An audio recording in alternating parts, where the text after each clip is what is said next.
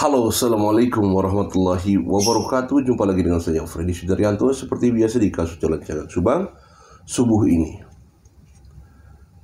Dulu-dulu saya pernah bikin konten bahwa Untuk bisa menentukan suatu keputusan sebagai tersangka Maka harus bisa mematahkan alibi. Alibi ini penting Bisa dikatakan untuk bisa menentukan bahwa adanya kebohongan dan kejujuran. Di situlah harus ada pembuktian masalah mematahkan alibi. Pernah beberapa konten saya waktu dulu saya pernah buat itu ya. Kan kalau kita bicara sekarang yang di, kita bicara tiga poin yang kita bicarakan. Yaitu obstruction of justice, kemudian sekolah atau yayasan, dan juga adalah status MAA. Sementara kita sudah kita bicara bahwa ini ada pelanggaran, diduga ada pelanggaran, ada pelanggaran, ada pelanggaran. Contoh misalkan diduga ada pelanggaran masalah yayasan. Jelas itu Kombes Pol Bapak uh, Bapak Surawan yang mengatakan bahwa ada penyalahgunaan atau data fiktif. Itu disampaikan di salah satu media yaitu Tribun wawancara dengan Tribun waktu itu menyatakan bahwa ada data fiktif. Itu sudah jelas bahwa petinggi Polri, petinggi Polda yang mengatakan demikian ya. Bahwa ada pelanggaran. Artinya kalau sudah ada pelanggaran, apa sih? Kan gitu kan ya. Kita masyarakat hanya bisa berbicara masalah logika. Kalau sudah ada bau-bau pelanggaran, ya apalagi kan gitu. Mohon maaf, jangankan pelanggaran yang sifatnya besar. Kan sekarang orang masuk rumah tetangga itu diperkarakan. Mengambil ayam itu diperkarakan. Dan itu cepat sekali dilaporkan ya maling ayam tetangga nih dilaporkan langsung ya jadi perkara itu beberapa kasus sering terjadi ya dilaporkan bahwa ini masuk rumah tetangga dilaporkan jadi perkara ya. Ini sudah ada pelanggaran dan yang menyebutkan juga pihak kepolisian ya. Kemudian juga sudah dibawa oleh pengacara pengacara eh, RD Law membawa para saksi ada juga penyalahgunaan tanda tangan di sana. Artinya sudah ada ada ada ada indikasi-indikasi pelanggaran yang sekelas maling ayam aja dilaporkan diperkarakan itu langsung tuntas. Langsung bet bet berebet berebet selesai. Ya orang masuk ke perangan tetangga dilaporkan perkara selesai. Ini mohon maaf diduga bahwa ada penyalahgunaan data fiktif berarti ada kemungkinan diduga ada uang negara di sana karena berkaitan dengan apa? Jelas berkaitan dengan dana bos. Karena data fiktif. Dilaporkannya sekian, padahal tidak sekian. Ada uang negara yang disalahgunakan. Uang negara, ini uang negara. Dan cukup besar. Maling ayam tetangga, langsung beres dilaporkan. Ini uang negara sudah dilaporkan dan sudah jelas ini kan jadi pertanyaan kita sebagai warga negara warga negara jadi kita bingung nih. Ada apa ini gitu loh? Kok alot sekali? Ya, alot sekali. Kenapa ini kok alot? Kemudian ya uh, obstruction of justice.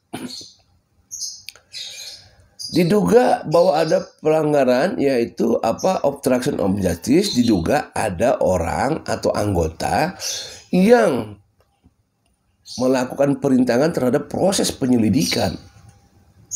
Sudah jelas disebutkan namanya bahwa dia mengambil harddisk ya dikembalikan dalam keadaan kosong dan di dalam harddisk itu ada yang sangat krusial yaitu penampakan Bapak Yosef dan seorang yang berjaket hitam yang menyaksikannya bukan satu orang tapi dua orang dan itu dia sangat yakin 100%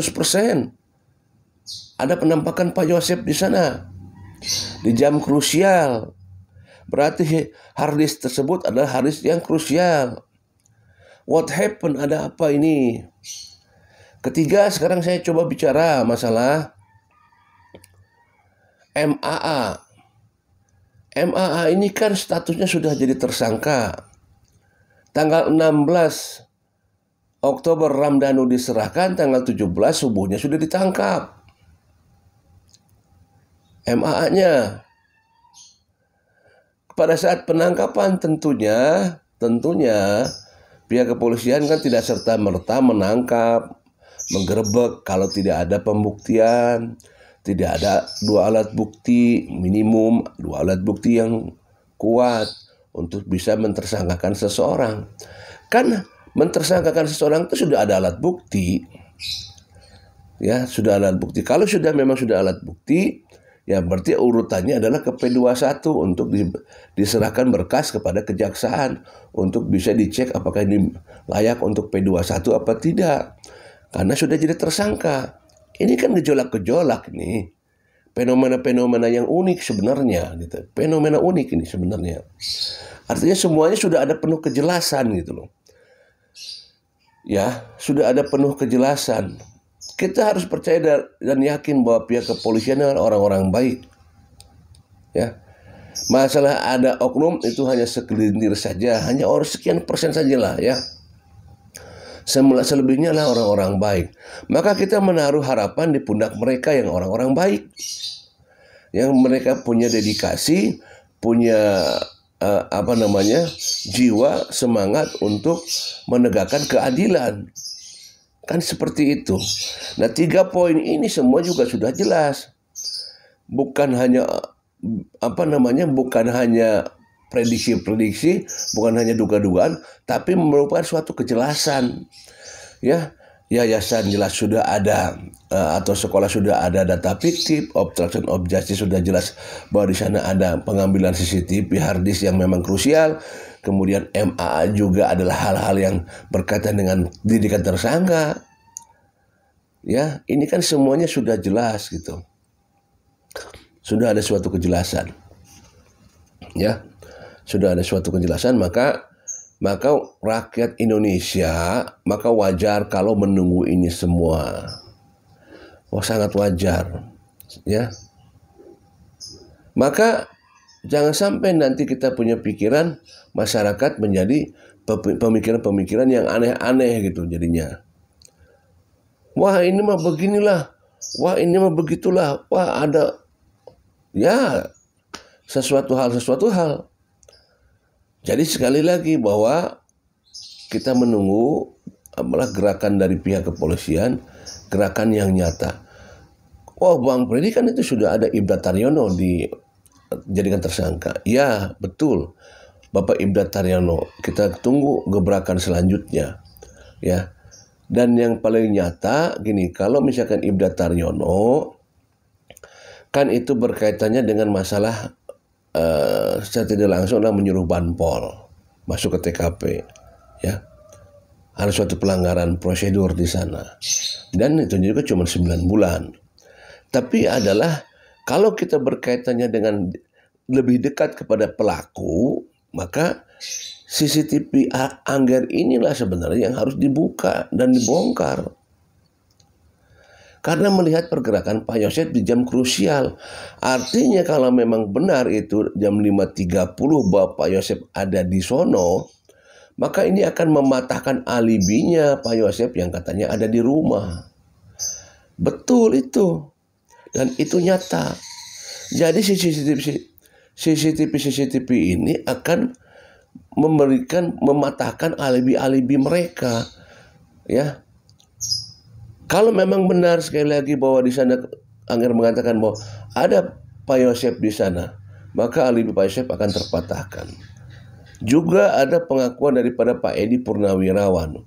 Ya, kita tahu Pak Edi Purnawirawan pernah mengatakan dan panjang lebar ya di media, di YouTuber bahwa beliau melihat kemudian dipoto dan di, disampaikan oh itu ada pergerakan pakai motor NMAX menuju TKP jam sekian jam sekian satu orang wanita dan satu orang laki-laki yang diduga adalah rentetan dari pelaku.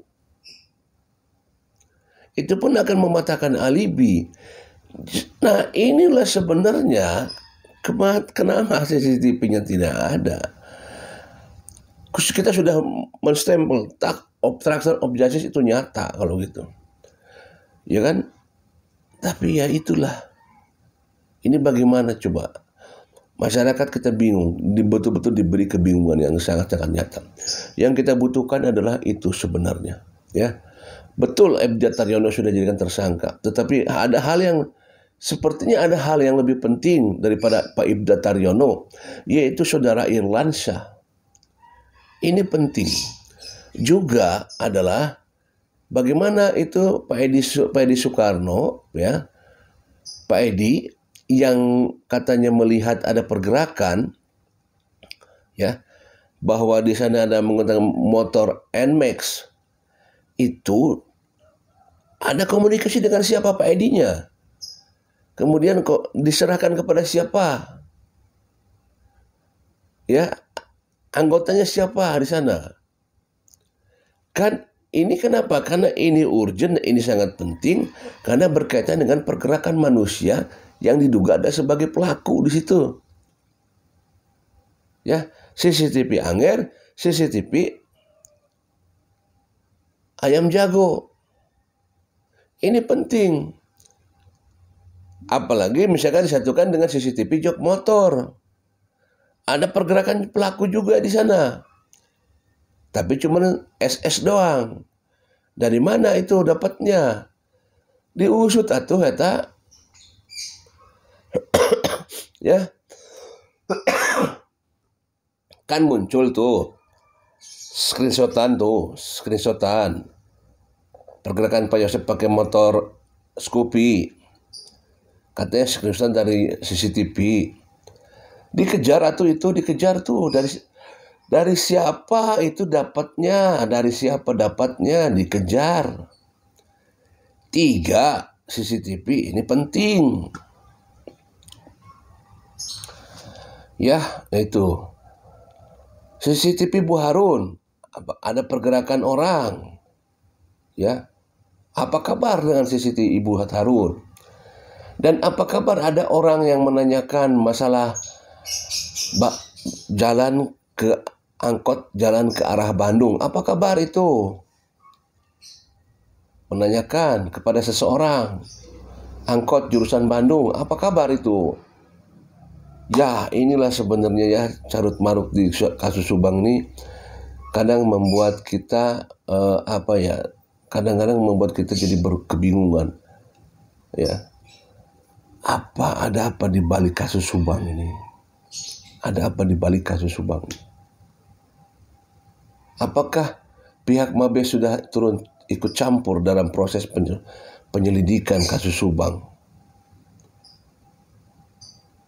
Apakah harus digenjulungkan dulu? Apakah harus dipiralkan dulu? Kita tunggu saja ya, karena kepercayaan kita adalah kepercayaan kepada pihak kepolisian. Kepada siapa lagi kalau bukan kepada polisian, kita menaruh harapan hanya di pundak mereka lah.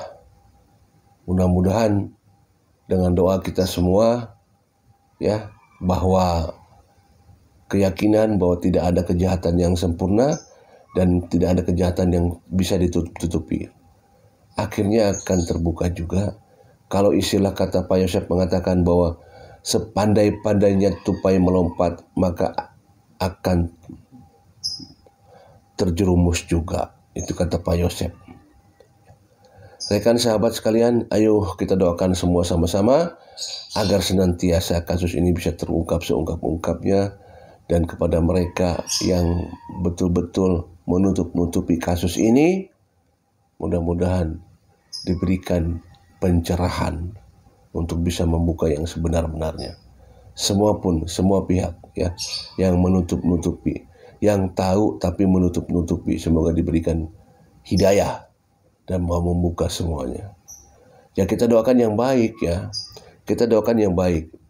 Jangan doakan wah cing burut ya ah sia cing pengkor sia ah sia cing aya masalah hidupna Jangan, jangan yang jelek-jelek. Kita doakan sajalah orang-orang yang mereka ya, uh, menutupi kasus ini diberikan pencerahan dan supaya mau tobat dan mengaku gitu. Ya, jangan jangan jangan didoain yang jelek-jelek.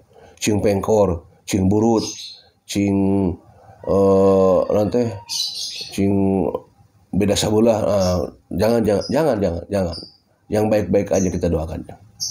Demikian Jumat hari ini. Assalamualaikum warahmatullahi wabarakatuh.